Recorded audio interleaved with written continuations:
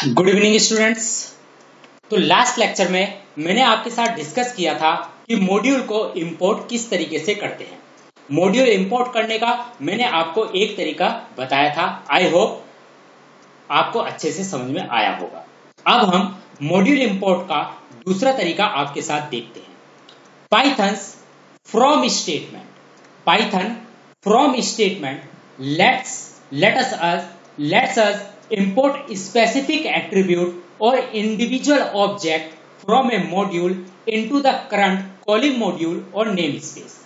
That means, dear student, अगर suppose आपके पास एक मॉड्यूल है ये इंपोर्ट uh, करने का जो सेकंड वे है फ्रॉम स्टेटमेंट इसका क्या मतलब है पहले तो मैं आपको ये बताऊँगा डियर स्टूडेंट सपोज़ आपके पास एक मॉड्यूल है लास्ट वाला एग्जांपल ही आपके साथ डिस्कस कर रहा हूँ आपने मॉड्यूल बनाया था एरिया डॉट पाई इस मॉड्यूल के अंदर एरिया मॉड्यूल के अंदर आपने सर्किल का एरिया डिफाइन किया था फ़ंक्शन के रूप में। आपने स्क्वायर का एरिया फ़ंक्शन डिफाइन किया था, आपने रेक्टेंगल का एरिया फ़ंक्शन डिफाइन किया था। ठीक? सपोज़ किसी को एक ही एक ही फ़ंक्शन को एक्सेस करना है। सपोज़ कोई पर्टिकुलर यूज़र है सपोज़ मैं हूँ, मुझे सिर्फ़ सर्किल का एरिया एक्सेस करना है। या मुझे सर्किल का एरिया और रेक्टेंगल का एरिया एक्सिस करना है, या मुझे सर्किल का एरिया और जो है स्क्वायर का एरिया इन दोनों को एक्सिस करना है। या तो अगर सपोज़ आपके पास 10 मेंबर की टीम है तो 10 मेंबर की टीम में से यह हो सकता है कि कोई मेंबर सारे मॉड्यूल्स एक्सिस ना करके कोई एक पर्टिकुलर मॉड्यूल एक्सिस करे हो सकता है कि कोई दो मॉड्यूल एक्सेस करे, हो सकता है कि कोई तीन मॉड्यूल एक्सेस करे तो ये सबकी रिक्वायरमेंट पे डिपेंड करता है। तो अगर आपको एक मॉड्यूल में से किसी भी पर्टिकुलर फ़ंक्शन को एक्सेस करना है तो by using from statement you can do this feature this functionality किस तरीके से आप इंपोर्ट करेंगे आप? फ्रॉम मॉड्यूल नेम जैसे सपोज़ आपको सर्किल का एरिया ही चाहिए। सपोज़ मैं हूँ, मुझे एक मॉड्यूल को एक्सेस करना है, लेकिन मुझे सिर्फ़ सर्किल का एरिया चाहिए। लेकिन मैंने मॉड्यूल में, जो मैं मॉड्यूल इंपोर्ट कर रहा हूँ, जैसे मैं मॉड्यूल इंपोर्ट कर रहा हूँ इंपोर्ट एरिया इस मॉड्यूल में मैंने सारे के सारे फ़ंक्शन डिफाइन कर रखे हैं, सारे के सारे फ़ंक्शंस डिफाइन कर रखे हैं। लेकिन लेकिन मुझे तो सिर्फ़ सर्किल का एरिया ही चाहिए। तो मैं क्या करूँगा? मैं लिखूँगा from module name import function name from module name import function name जैसे मैं, यहाँ पर मुझे सिर्फ़ सर्किल का एरिया चाहिए। मैं एक एप्लीकेशन यूज़र हूँ, मैं एक यूज़र हूँ और मुझे सिर्फ़ सर्किल का एरिया चाहिए। तो मैं क्या लिखूँगा? From module name module name क्या है मेरा? एरिया मुझे क्या चाहिए? सर्किल का एरिया तो मैं लिखूँगा इंपोर्ट और सर्किल एरिया तो मैं लिखूँगा सर्किल एरिया तो मुझे क्या चाहिए? सिर्फ़ सर्किल का एरिया चाहिए। तो मैं उसी पर्टिकुलर उस चीज़ को एक्सेस करूँगा जो मुझे चाहिए। तो by using from statement you can do you can use this feature from module का नाम इंपोर्ट फ़ंक्शन का नाम। अब अगर आप इसे रन करने की कोशिश करेंगे सपोज़ आप इसे यहाँ पर रन करेंगे तो रन करने के बाद ये आपको एरर डिस्प्ले करेगा। ये देखिए, इसने कहा name area is not defined sorry name area is not defined एक मिनट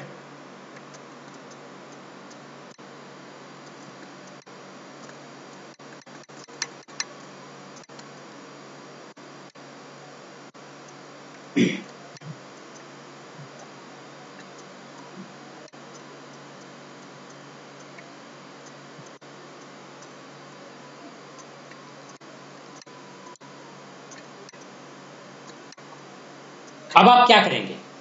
अब जैसे कि मैंने आपको बताया कि अगर आपको किसी पर्टिकुलर मॉड्यूल किसी पर्टिकुलर फ़ंक्शन को एक्सेस करना है तो आप क्या करेंगे? उस पर्टिकुलर फ़ंक्शन को ही आपको क्या करना है? इंपोर्ट करना है। तो आपको लिखना है from area import circle area. क्योंकि आप क्या करना चाह रहे हैं? सिर्फ़ सर्किल के एरिया को ही आपकी रिक्वायरमेंट है। लेकिन आपके मॉड्यूल के अंदर कितने फ़ंक्शन डिफाइन है? तीन फ़ंक्शन जिसमें सर्किल का एरिया भी है, जिसमें स्क्वायर का एरिया भी है, और जिसमें रेक्टेंगल का एरिया भी है। हो सकता है कोई एक ऐसा मॉड्यूल है जिसमें 10 फिगर के एरिया और पैरामीटर हो। हो सकता है कोई कोई एक ऐसा मॉड्यूल हो जिसमें 10 शेप्स हो और उसमें से आपको सिर्फ़ दो ही शेप की रिक्वायरमेंट हो। तो आप इस, अगर आप किसी भी पर्टिकुलर फीचर को एक्सेस करना चाहते हैं मॉड्यूल में से, अगर आप एक मॉड्यूल में से किसी पर्टिकुलर फंक्शनैलिटी को एक्सेस करना चाहते हैं तो आपको उस पर्टिकुलर फंक्शनैलिटी को मेंशन करना पड़ेगा। किस तरह से?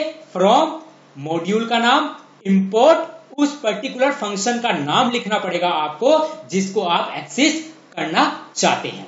अब आपको क्या करना है? अब आपको जैसे सर्किल का एरिया चाहिए तो आप यहाँ पर हटा दीजिए। अब एरिया की ज़रूरत नहीं है। अब मॉड्यूल नेम की ज़रूरत नहीं है। विदाउट मॉड्यूल नेम आपको एक्सेस करना है। विदाउट मॉड्यूल नेम आपको एक्सेस करना है। अब आप इसे रन करेंगे। रन करने की बात जब आप इसे रन करेंगे तो यहाँ पर यह कहेगा square area is not defined square area is not defined क्यों कह रहा है ये square area is not defined क्योंकि आपने इंपोर्ट करा है कौन सा मॉड्यूल आपने इंपोर्ट करा है सिर्फ़ सर्किल एरिया आप फंक्शनैलिटी किसकी यूज़ करना चाह रहे हो?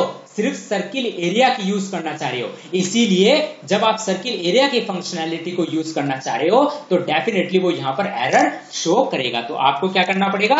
इन दोनों को हटाना पड़ेगा। यहाँ से रिमूव करना पड़ेगा। अब आप अब आप देख सकते हैं, आप सिर्फ़ सर्किल एरिया की फंक्शनैलिटी को यूज़ करना चाह रहे हैं। आप सिर्फ़ सर्किल का एरिया कैलकुलेट करना चाह रहे हैं। उस मॉड्यूल के अंदर से, जिसके अंदर तीन फ़ंक्शन डिफाइन है, उसमें से सिर्फ़ आप, सिर्फ़ और सिर्फ़ आप सर्किल का एरिया ही डिफाइन करना चाह रहे हैं। तो आपको क्या लिखना है? फ्रॉम मॉड्यूल का नाम इंपोर्ट उस फ़ंक्शन का नाम, जिस पर्टिकुलर फ़ंक्शन का एरिया आप कैलकुलेट करना चाहते हैं। तो अब मैं कैलकुलेट करना चाहता हूँ सर्किल का एरिया तो मैं यहाँ पर डिफाइन कर रहा हूँ सर्किल का एरिया और डायरेक्ट अब आपको क्या करना है? अपने फ़ंक्शन को कॉल करना है. अब डायरेक्टली जब आप अपने फ़ंक्शन को कॉल करेंगे तो आपको यहाँ पर सर्किल का एरिया मिल जाएगा. अगर आप यहाँ पर डायमेंशन को चेंज करेंगे जैसे सपोज़ टू की जगह फोर कर देंगे अब आप इसे रन करेंगे तो आप या, आपको यहाँ पर सर्किल का एरिया मिल जाएगा. जब आप सर्किल के रेडियस फोर पास करेंगे तो आपका सर्किल का एरिया आएगा 50.24 क्योंकि आपने एरिया मॉड्यूल बनाकर रख दिया है। आपको क्या करना है? जस्ट उस मॉड्यूल को एक्सिस करना है। आपने क्या करा? From area import circle area क्योंकि आपको सिर्फ़ सर्किल का एरिया ही चाहिए। तो एक मॉड्यूल में से अगर आप किसी भी पर्टिकुलर फ़ंक्शन को एक्सेस करना चाहते हैं तो आपको उस पर्टिकुलर फ़ंक्शन को वहाँ पर इंपोर्ट के साथ मेंशन करना पड़ेगा। ये चीज़ ध्यान रखिए। और जब आप फ़ंक्शन को कॉल करेंगे तो फ़ंक्शन को कॉल करने के लिए आपको मॉड्यूल के नेम की ज़रूरत नहीं है। विदाउट मॉड्यूल नेम आप फ़ंक्शन को डायरेक्टली कॉल कर सकते हैं। जैसे आपको यहाँ पर ये लिखने की ज़रूरत नहीं है एरिया डॉट पाई सिर्फ़ आप क्या लिखेंगे? सर्किल एरिया क्योंकि अब ये मॉड्यूल को पहचानेगा नहीं, ये जो आपका ये एप्लीकेशन प्रोग्राम है यूज़र वन डॉट पाई अब ये उस एरिया मॉड्यूल को नहीं पहचानेगा।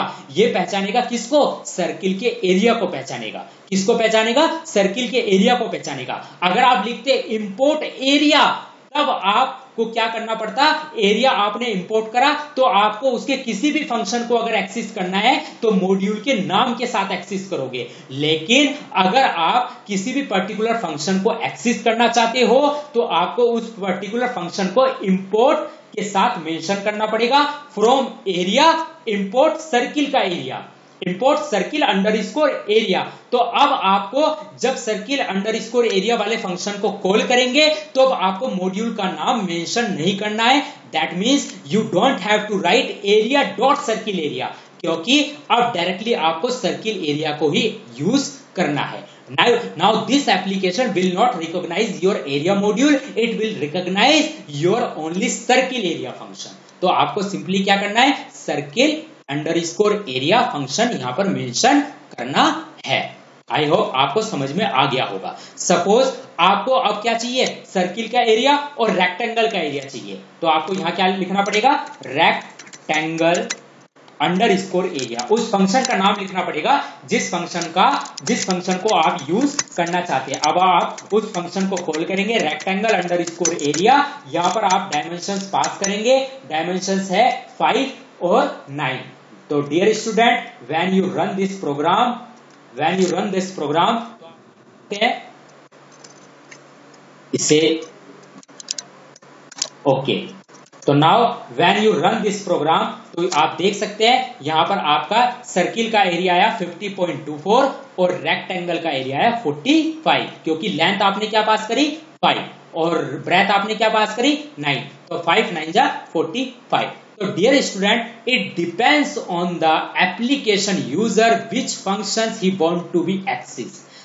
Uh, the function the function he want to be accessed the particular function which he want to be accessed you have to mention the you have to import that particular function from area module you have to write from area import that particular function name which he want to be access which he want to be access तो इससे आपके programme की complexity और ज़्यादा reduce हो जाती है क्योंकि अगर आप पूरे मॉड्यूल को इंपोर्ट कर रहे हैं अपने एप्लीकेशन में तो डेफिनेटली उसका रन टाइम एग्जीक्यूशन बढ़ जाता है। लेकिन आप किसी पर्टिकुलर किसी पर्टिकुलर फ़ंक्शन को ही अगर आप को इंपोर्ट करना है, अगर आप किसी पर्टिकुलर फ़ंक्शन को ही अगर आपको एक्सेस करना है तो आप उस मॉड्यूल में से उस पर्टिकुलर फ़ंक्शन को, का नाम मेंशन करिए और आप उस पर्टिकुलर फ़ंक्शन को डायरेक्टली कॉल कर सकते हैं। वो फ़ंक्शन एक भी हो सकता है, दो भी हो सकता है, तीन भी हो सकते हैं at it is your choice तो जिस जिस फ़ंक्शन को आप एक्सेस करना चाहते हैं, उस उस पर्टिकुलर फ़ंक्शन को आपको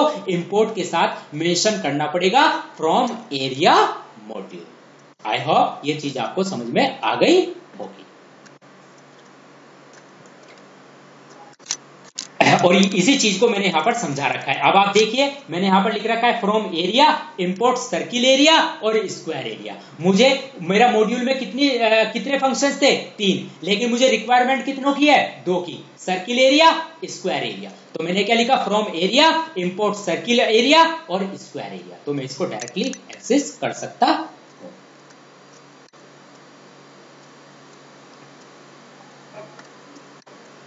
अब हम बात करेंगे थर्ड की। तीसरा वे तीसरा way import star import asterisk statement can be use to import all names from a module into the current calling name space module तो आपने क्या लिखा? From module name import star import star का मतलब है कि सारे के सारे फ़ंक्शन क्या हो जाएँगे आपके?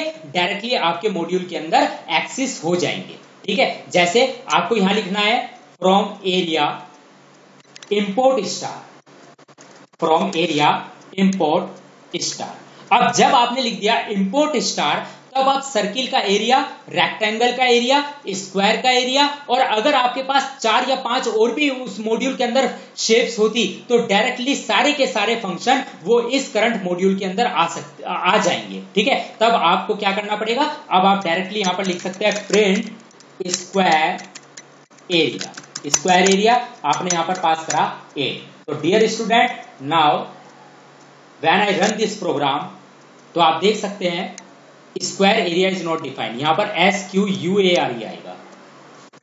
यू ए आर ई तो when I run this program when I run this program now you can see the area of circle is 50.24 the area of इस rectangle is 45 the area of square is 64 क्योंकि मैंने यहाँ पर पास क्या कराए 8 पास कराए तो 8 का स्क्वायर 64 तो मैंने यहाँ पर क्या लिखा? मुझे सारे फ़ंक्शन को एक्सेस करना है। तो सारे फ़ंक्शन को एक्सेस करना है तो मैंने लिखा फ्रॉम एरिया इंपोर्ट स्टार तो जब मैं इंपोर्ट स्टार करूँगा तो मेरे सारे के सारे फ़ंक्शन डायरेक्टली एक्सेस हो जाएँगे। अब मुझे मॉड्यूल के नाम के साथ उनको कॉल करने की ज़रूरत नहीं है। आपने देखा होगा, मैंने जब पहला तरीका बताया था तो पहले तरीके में मैंने लिखा था इंपोर्ट एरिया तो जब मैंने इंपोर्ट एरिया करा था तो मैंने अपने मॉड्यूल को इंपोर्ट करा था। मैंने क्या करा था? अपने मॉड्यूल को इंपोर्ट करा था। और मॉड्यूल को इंपोर्ट करने के बाद उस मॉड्यूल के किसी भी फ़ंक्शन को मैं कॉल कर रहा था तो कैसे कर रहा था? मॉड्यूल के नाम के साथ कर रहा था। मॉड्यूल के नाम के साथ कर रहा था। जब मैंने आपको पहला वे बताया था इंपोर्ट करने का तो पहले वे में मैंने इंपोर्ट करने में मैंने क्या बताया? कि मैंने लिखा इंपोर्ट एरिया तो जब आप किसी मॉड्यूल को, पूरे मॉड्यूल को इंपोर्ट करते हैं तो इंपोर्ट करने के बाद उस मॉड्यूल के किसी भी पर्टिकुलर फ़ंक्शन को एक्सेस करने के लिए आपको मॉड्यूल के नाम के साथ उस पर्टिकुलर फ़ंक्शन को एक्सेस करना पड़ता है। कि मॉड्यूल का नाम डॉट फ़ंक्शन का नाम, ठीक है? लेकिन, जब आप इंपोर्ट स्टार लिखते हैं कि फ्रॉम एरिया एरिया से इंपोर्ट स्टार का मतलब है सारे के सारे फ़ंक्शन को डायरेक्टली एक्सेस कर सकता हूँ अब मैं without mentioning the name of the module dear student अब इस वाले प्रोग्राम में मुझे ये लिखने की ज़रूरत नहीं है। Math sorry area dot circle area area dot rectangle area area dot square area अब मैं directly without mentioning the name of the module अब मैं डायरेक्टली फ़ंक्शन को कॉल कर सकता हूँ। तो अगर आपको जो है पूरे मॉड्यूल को इंपोर्ट करना है तो आप पहले वाला तरीका यूज़ कर सकते हैं इंपोर्ट एरिया लेकिन आप अगर पूरे मॉड्यूल को इंपोर्ट कर रहे हैं तो पूरे मॉड्यूल को इंपोर्ट करने के बाद आपको उस मॉड्यूल के किसी भी पर्टिकुलर फ़ंक्शन को कॉल करना है तो कैसे करेंगे? मॉड्यूल के नाम के साथ करेंगे। नंबर दो, दूसरा तरीका, मैं मैंने आपको क्या बताया? अगर आप मॉड्यूल में से किसी पर्टिकुलर फ़ंक्शन को यूज़ करना चाहते हैं तो आपको क्या लिखना है? फ्रॉम एरिया इंपोर्ट और जिस फ़ंक्शन को आप एक्सेस करना चाहते हैं, वो एक है या दो है या तीन है या चार है तो उन्हें कोमा लगाकर आप मेंशन कर दीजिए। तो केवल उसी उन्हीं फ़ंक्शन को आप अपने प्रोग्राम में एक्सेस कर सकते हैं। उसमें भी आपको मॉड्यूल का नाम लिखने की ज़रूरत नहीं है। और अगर आप अपने सारे मॉड्यूल अगर आप अपने सारे फ़ंक्शन को डायरेक्टली एक्सेस करना चाहते हैं तो मॉड्यूल से तो आपको लिखना है फ्रॉम एरिया इंपोर्ट स्टार और जब आप from area import star directly आप अपने उसमें इंपोर्ट करते हैं तो आप अपने फ़ंक्शन को डायरेक्टली कॉल कर सकते हो। क्या कर सकते हो आप अपने फ़ंक्शन को? डायरेक्टली कॉल कर सकते हो। आपको मॉड्यूल के नाम के साथ कॉल करने की ज़रूरत नहीं पड़ेगी। आई होप ये तीनों तरीके आपको समझ में आ गए होंगे।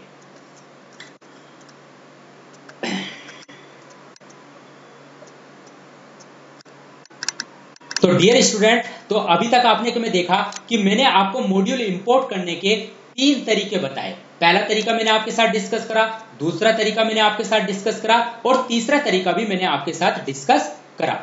मॉड्यूल एलियासी मॉड्यूल एलियास का क्या मतलब है? मॉड्यूल एलियास का मतलब है डियर स्टूडेंट कि मैं आपको बता देता हूँ इसका क्या मतलब है। जैसे, मैं आपको फ़र्स्ट तरीका, देखिए जब मैं आपको फ़र्स्ट तरीका बता रहा था, जिसमें मैं मॉड्यूल को इंपोर्ट कर रहा था। अब मैं आपके साथ फ़र्स्ट तरीका लेके चलता हूँ। यहाँ पर लिखेंगे एरिया इंपोर्ट एरिया मैंने क्या करा? पूरे मॉड्यूल को इंपोर्ट करा। अब जब मैं पूरे मॉड्यूल को इंपोर्ट करूँगा, मैं इसे रन करूँगा तो डेफिनेटली एरर शो करेगा। क्योंकि, क्यों एरर शो करेगा? क्योंकि इसने कहा circle area is not defined circle area is not defined ठीक है? तो आपको क्या करना पड़ेगा? क्योंकि आपने मॉड्यूल को क्या करा है? इंपोर्ट करा है। तो जब मॉड्यूल को आप इंपोर्ट कर रहे हैं तो इस मॉड्यूल के किसी भी फ़ंक्शन को अगर आप एक्सेस करना चाहते हैं तो आपको मॉड्यूल के नाम के साथ एक्सेस करना पड़ेगा। दैट मीन्स आपको कैसे करना पड़ेगा? Area dot circle area area dot rectangle area area dot square area तो दैट मीन्स जब आप पूरे मॉड्यूल को इंपोर्ट कर रहे हैं और उस मॉड्यूल के किसी भी फ़ंक्शन को अगर आपको एक्सेस करना है तो आपको क्या करना पड़ेगा? आपको मॉड्यूल के नाम के साथ उस पर्टिकुलर किसी भी फ़ंक्शन को एक्सेस करना पड़ेगा उस मॉड्यूल के मॉड्यूल के नाम के साथ। ठीक है? अब ये मॉड्यूल एलियास का क्या मतलब है? मॉड्यूल एलियास का मतलब है डियर स्टूडेंट कि जब भी आप किसी मॉड्यूल को इंपोर्ट करते हैं तो इंपोर्ट करने के बाद आप उस मॉड्यूल को कोई अल्टरनेटिव नेम दे सकते हैं। जैसे मैंने लिखा import area as import area as S अब मैंने इस एरिया को एक अल्टरनेटिव नाम दे दिया एस अब मैं जब भी इस मॉड्यूल के किसी भी पर्टिकुलर फ़ंक्शन को कॉल करूँगा तो अब मुझे ये मॉड्यूल का नाम लिखने की ज़रूरत नहीं है। अब मैं, जो मैंने उसका अल्टरनेटिव नेम दिया है, अब वो उसी के साथ कॉल होगा। दैट मीन्स अब मैं यहाँ पर डायरेक्ट क्या लिखूँगा? S dot circle area S dot rectangle area S dot square area that means ये एक तरीके से क्या कर सकता है? एक तरीके से इसका क्या नाम है? एक तरीके से इसका काम है आपके टाइम को कम करना। मॉड्यूल एलियास का मतलब है कि आप अपने मॉड्यूल का कोई भी अल्टरनेट अल्टरनेटिव नेम दे सकते हैं जो शॉर्ट हो। सपोज़ आपने कोई एक ऐसा मॉड्यूल बनाया जिसका नाम थोड़ा सा बड़ा है और जब आप उस मॉड्यूल के अंदर अगर मान लीजिए दस फ़ंक्शन है और दस के दस फ़ंक्शन को आपको कॉल करना है तो डेफिनेटली दस के दस फ़ंक्शन मॉड्यूल के नाम के साथ एक्सिस होंगे और आपको हर बार मॉड्यूल का नाम लिखना है। अगर आप चाहते हैं कि मॉड्यूल का नाम लिखने की बजाय कोई ऐसा शॉर्ट हैंड नोटेशन हो, उसके साथ फ़ंक्शन को अगर एक्सेस करें तो उसके साथ अगर आप अगर आप अपने फ़ंक्शन को कॉल करें तो आपका टाइम कम हो जाएगा प्रोग्राम लिखने का। तो आप अपने मॉड्यूल को अल्टरनेटिव नाम दे सकते हैं। इसे ही हम बोलते हैं मॉड्यूल एलियासिंग तो डियर स्टूडेंट आपने देखा, यहाँ पर मैंने जो एरिया मॉड्यूल था, इसको मैंने नाम क्या दे दिया? एस दे दिया। अब मैं इस मॉड्यूल के जितने भी फ़ंक्शन को कॉल करूँगा, उन फ़ंक्शन को कॉल करने के लिए मैंने जो एलियास वर्ड यूज़ किया एलियास जो मैंने यूज़ किया है, उसका यूज़ करूँगा। किसका यूज़ करूँगा? एलियास का। और मैंने यहाँ पर एरिया को क्या एलियास यूज़ किया है? एरिया के लिए एस यूज़ किया है। तो मैं एस का यूज़ करूँगा। अगर सपोज़ मैंने यहाँ पर लिखा area dot circle area suppose मैंने यहाँ पर एरिया डॉट सर्किल एरिया लिखा। अब मैं इसे रन करता हूँ। तो ये यहाँ पर एरर देगा। क्या देगा? एरर देगा। क्योंकि अब मॉड्यूल का नाम क्या हो गया है? एस हो गया है। क्या हो गया है? एस हो गया है। आपने मॉड्यूल को अपने प्रोग्राम में इंपोर्ट करा और इंपोर्ट करने के बाद उस मॉड्यूल का एक शॉर्ट हैंड नोटेशन दे दिया। क्या शॉर्ट हैंड नोटेशन दे दिया? आपने एस दे दिया। तो अब वो मॉड्यूल किस नाम से पहचाना जाएगा? अब वो मॉड्यूल अपने शॉर्ट हैंड नोटेशन एलियास के नाम से पहचाना जाएगा। अब आप उसे किसके? एलियास के नाम के साथ एक्सेस करेंगे। और ये आपके लिए फ़ायदा ही है। सपोज़ मैं हूँ। मैंने एक ऐसा मॉड्यूल डिज़ाइन किया है जिसका नाम थोड़ा सा बड़ा है। और उस मॉड्यूल के अंदर 10 फ़ंक्शन है। तो जब आप मेरे मॉड्यूल को इंपोर्ट करोगे तो मेरे मॉड्यूल के किसी भी फ़ंक्शन को कॉल करने के लिए आपको मेरे मॉड्यूल का नाम यूज़ करना पड़ेगा। ठीक है? लेकिन आप चाहते हो कि मुझे कि आपको मेरे मॉड्यूल का नाम ना यूज़ करना पड़े। तो आप क्या करोगे? मेरे मॉड्यूल को इंपोर्ट करने के बाद आप उस मॉड्यूल को कोई भी शॉर्ट हैंड नोटेशन दे सकते हो, जो आप चाहते हो। फिर आप मेरे मॉड्यूल का नाम ना यूज़ करके डायरेक्टली उस शॉर्ट हैंड नोटेशन का ही यूज़ करोगे और वही शॉर्ट हैंड नोटेशन आपके मॉड्यूल के लिए यूज़ होगा। And it saves your time to writing your program I think this is the best way I hope आपको समझ में आ गया होगा कि मॉड्यूल एलियास क्या होता है। Module alias is nothing it is just the alternative name of your module. When you write when you import a module in your program you can just give a alternative name to your module. And when you call the functions of that particular module you will call that functions with the alias name not the module name क्योंकि अब module name recognise नहीं होगा। अब जो आपने उसको alias name दिया है, अब वो उसी के नाम से पहचाना जाएगा आपके अपने एप्लीकेशन प्रोग्राम में, जो भी आप शॉर्ट हैंड नोटेशन उस मॉड्यूल को दोगे। आई होप आपको ये चीज़ समझ में आ गई होगी। तो डियर स्टूडेंट आज मैंने आपके साथ डिस्कस करा मॉड्यूल के इंपोर्ट करने के दो और तरीके आपके साथ डिस्कस किए हैं। अगले लेक्चर में हम इसी को आगे कंटिन्यू करेंगे। इसमें प्रैक्टिकल प्रोग्रामिंग आपके साथ डिस्कस करेंगे। तब तक के लिए thank you very much have a nice day take care stay safe stay health